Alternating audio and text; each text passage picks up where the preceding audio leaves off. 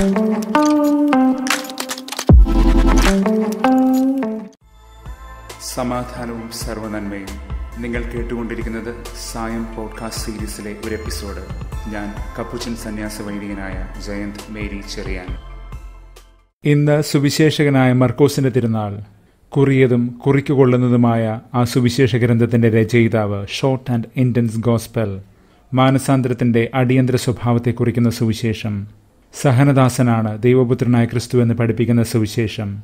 മിഷിഹാ രഹസ്യം വരുന്ന സുവിശേഷം the unfolding of messianic secret വചന സന്ദർഭങ്ങൾ സാൻഡ്വിച്ചായി പകർന്നു തരുന്ന സുവിശേഷം മാക്കിൻ സാൻഡ്വിച്ചസ് ഏറ്റവും പുരാതനമായ സുവിശേഷം അപദാനങ്ങളേറെയാണ് ഇന്നലെ അപ്പോസ്റ്റർ പ്രവർത്തനം പതിമൂന്ന് അഞ്ചിൽ പറഞ്ഞു വെച്ച ഒരു കാര്യം ഓർക്കുമല്ലോ.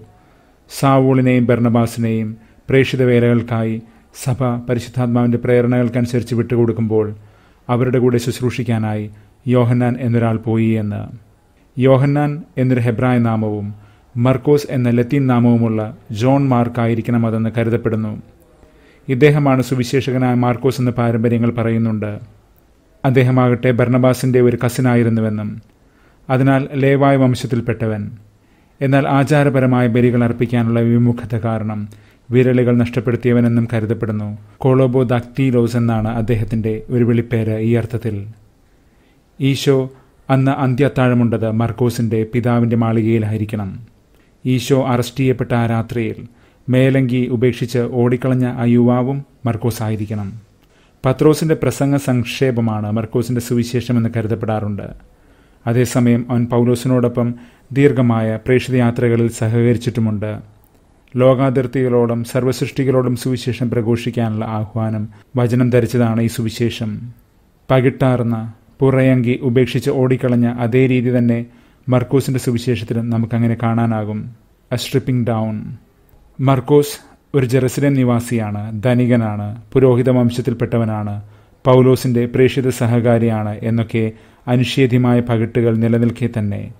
മർക്കോസിന്റെ സുവിശേഷം ഇതിന്റെ വിരുദ്ധമായ ഒരു ചലനരീതിയാണ് പ്രകടമാക്കുന്നത്.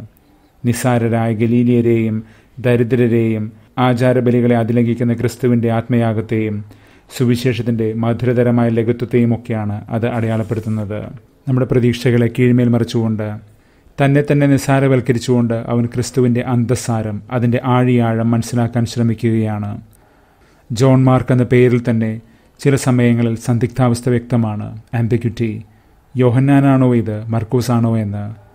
അതുകൊണ്ട് തന്നെ മേൽപ്പറഞ്ഞ പകിട്ടാർന്ന ആ വിശ്വാസാനുഭവങ്ങളുടെ സൗന്ദര്യം പ്രകടമാക്കുന്ന യോഹന്നാന്റെ സുവിശേഷം. അതേസമയം ലാളിത്യത്തിന്റെ സൗന്ദര്യം പ്രകടമാക്കുന്ന മർക്കോസിന്റെ സുവിശേഷം. ഇവ തമ്മിൽ ഒരു ജൈവബന്ധമുണ്ടെന്ന് കരുതപ്പെടുകയാണ്. മർക്കോസ് സമുന്നതനായ ഒരു സുവിശേഷ പ്രഘോഷകനാണ്.